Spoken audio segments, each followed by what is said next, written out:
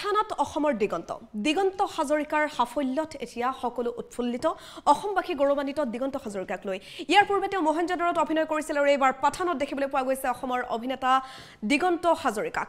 নগাঁৱৰ দিগন্ত হাজৰিকাৰ সাফল্য বলিউডত। বলিউডত তেওঁ খোপনি ফুটিবলৈ সক্ষম হৈছে। এইবাৰ পাঠানত অভিনয় কৰিলে অসমৰ দিগন্ত হাজৰিকাই। পাঠান বোলছবিত শ্বাহৰুখ খানৰ সৈতে একেলগে অভিনয় কৰিছে অসমৰ দিগন্ত হাজৰিকাই। পাঠানত অসমৰ দিগন্ত হাজৰিকাক দেখি সকলো উৎফুল্লিত। পাঠানৰ পূৰ্বে তেওঁ মহঞ্জেদৰ ছবিখনত ঋতিক সৈতে একেলগে কাম কৰিছিল। দিগন্ত হাজৰিকাই এতিয়া বলিউডত খোপনি ফুটিবলৈ সক্ষম হৈছে। নগাঁৱৰ পুৰণি কুটামৰ গাৰণ বৈৰাগী চুকত ঘৰ দিগন্ত হাজৰিকাৰ। গাড়ী বৈৰাগী চুকত এতিয়া উৎফুল্লিত পৰিৱেশ। দিগন্ত হাজৰিকাক লৈ সকলো গৌৰৱান্বিত। নগাঁওবাসী গৌৰৱান্বিত দিগন্ত হাজৰিকাক লৈ।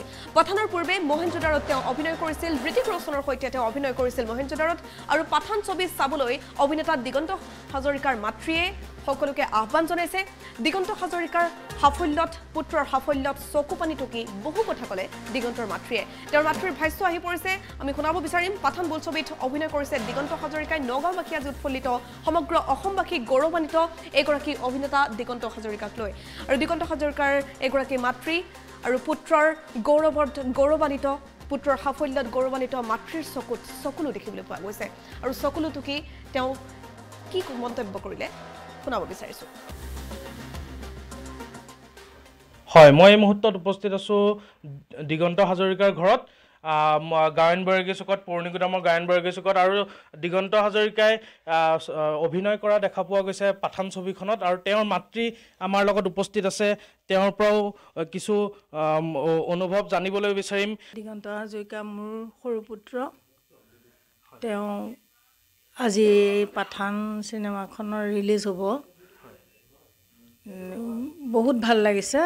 ৰাতিপুৱাৰ পৰাই বিভিন্নজনৰ কমেণ্ট আহিছে মোৰ দাদা ভণ্টি আৰু নিজৰ পৰিয়ালবৰ্গৰ বাদেও আন আন লোকৰ পৰাও বিভিন্ন ধৰণৰ কমেণ্ট আহিছে। সকলোৱে শুভেচ্ছা জনাইছে।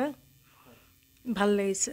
হয় যি বিতৰ্ক চলি আছিল শ্বাহৰুখ খানক চিনি নাপাওঁ বুলি ক'লে হিমন্ত বিশ্ব শৰ্মাই অসমৰ মুখ্যমন্ত্ৰীয়ে। হয়। কি ক'ব? শ্বাহৰুখ খানক চিনি নাপাওঁ বুলি আচলতে তেখেতে কিয় কৈছে নাজানো। কেনেকুৱা ধৰণৰ কথা আৰু তেখেতটো বহুত ওপৰৰ চিফ মিনিষ্টাৰ নহয়নে বাৰু? গতিকে হয়তো তেখেতে চিনি নাপাওঁ বুলি কোৱাৰ কিবা যুক্তি আছে। সেইটো কথা আমি বিতৰ্কলৈ নাযাওঁ। বাকী যিখিনি বিতৰ্ক শুনি আছোঁ সেই বস্তুটো আমি দেখা নাই চিনেমাখন দেখা নাই। গতিকে কেনেধৰণৰ কি সেই চিনেমাখন আমি যেতিয়া প্ৰত্যক্ষ কৰিম তেতিয়াহে বুজি পাম। সেয়ে মই সকলোকে আহ্বান জনাইছোঁ সকলোৱে আহি চিনেমাখন উপভোগ কৰক। কৰাৰ পিছত ভাল বেয়া সকলো বস্তুতেই থাকে সকলো বস্তুতেই ভাল বেয়া দিশ থাকে। গতিকে ৰাইজে এখন চাই লৈ ভালটো আঁকোৱালি লওক। মই এইটোৱে কামনা কৰোঁ। আপোনাৰ পুত্ৰৰ লগত কথা হৈছেনে বাৰু? মোৰ ল'ৰাৰ লগত কথা বতৰা এই চিনেমাৰ বিষয়ত বৰ বিশেষ হোৱা নাই। আমি মাজতে আমাৰ বিয়া কেইবাখনো গ'ল বিয়াতো ব্যস্ত থাকিলোঁ আৰু মই বিয়া ঘৰত থাকোঁতেই সি গ'লগৈ এই যোৱা এসপ্তাহৰ আগত। বিহুৰ পৰা চাৰিদিনমান ইয়াত থাকিলে তাৰপিছতে গ'লগৈ। গৈ সি গুৱাহাটীতো থাকিবলৈ পোৱা নাই। বিভিন্ন ধৰণৰ কামত বম্বে নাচিক অন্যান্য ঠাইত অলপ বাহিৰে বাহিৰে আছে। আজি সি এইমাত্ৰ আহি আছে অলপ আগত কথা হ'লোঁ। ঘৰ পোৱাহি নাই গুৱাহাটী পোৱাহি নাই। এয়াৰপৰ্টৰ পৰা ওলাই টেক্সিত আছে। ঘৰ নিশ্চয় এতিয়া পাইছেহি। ঘৰৰ পৰাই নিশ্চয় মোলৈ ফোন কৰিব। হয় গুৱাহাটী ঘৰলৈ আহিছে। হয় হয়। ধন্যবাদ জনাইছোঁ। এনেকৈ এতিয়া বৰ্তমান মত ব্য- ব্যক্ত কৰিলে দিগন্ত হাজৰিকাৰ মাতৃয়ে।